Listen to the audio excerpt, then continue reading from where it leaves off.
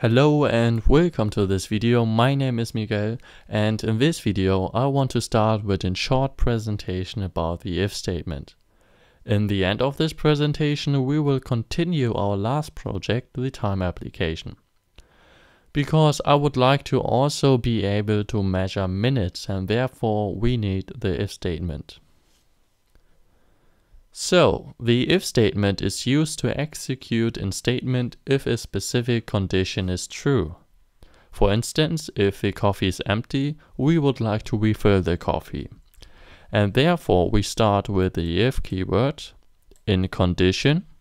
And if the condition is true, so if the coffee is empty, we will execute the then block. So we will execute the if statement.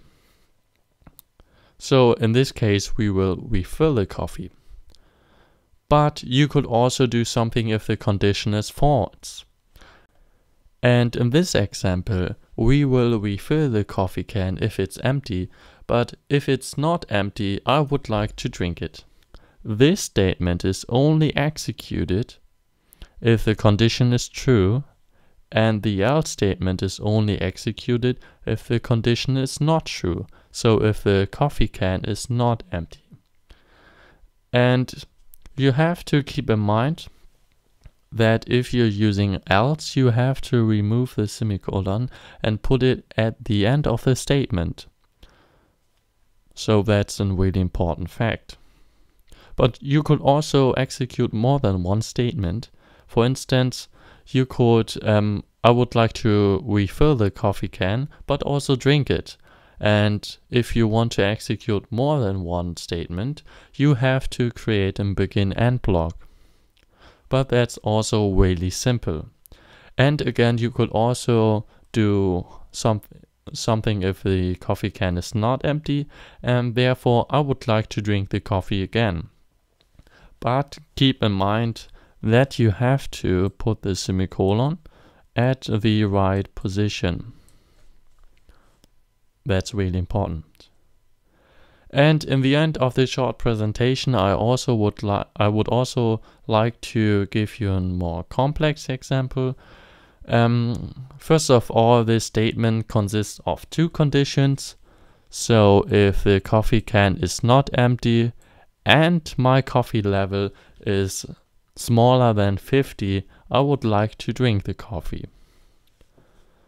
And if you would if you like to use more than one condition, you have to put the conditions in round brackets. Moreover, you have to connect these conditions using AND or OR or even XOR. And in this case, my then statement will be executed if both conditions are true because I have chosen the AND operator. Another interesting thing is um, not. So let's say our coffee is empty, then this condition, coffee point empty will be true, but not true equals false. So not will turn the result or the boolean value around. So if the coffee is not empty, and here I'm using smaller than 50. I think this is um, these are the most important information and now I would like to complete our time application. So let's get started. First of all, we need to open our last project. Um, if you don't have the project, you could redo my tutorial number 5 or you could simply go to my website and on this website you can find the video itself, some information, but also the download file of my project. So if you don't have the project, you could simply download it. But I have my project, so I don't need to do this step. So let's start Lazarus and open the project. And I will start with a declaration. Actually with a declaration of a new integer counter called minutes. And minutes has the data type integer and should be initialized with 0. What else do we need? We could um, start with some simple stuff. So we could go into the clear button and in the clear button, we also want to set minutes to zero. We could also adjust our label display to into string, into string um, minutes plus in colon and plus our seconds counter. And we could also do this right here. I'm sorry, like this. And now we need to increase our minutes counter and therefore we have to go into the timer, so into timer one timer. And in this procedure we are increasing our counter variable.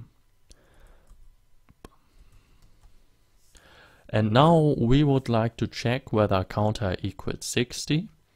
And if it's 60, we would like to increase our minute counter and reset the seconds counter to zero. So basically we are asking if counter equals 60, then we would like to increase minutes. So minutes colon um, or is defined as minutes plus one and counter is defined as 0. So let's start this application and take a look whether it works. But actually I don't want to waste your time with a minute. So I would like to go into the timer and set the interval to 100. And this will increase the speed. And now we can see that this works, but we also need to display it like we did in the clear button. Actually, not like in the clear button, like, like this. So again, we could simply write down into string, first of all, the minutes counter, plus the colon, plus into string the counter.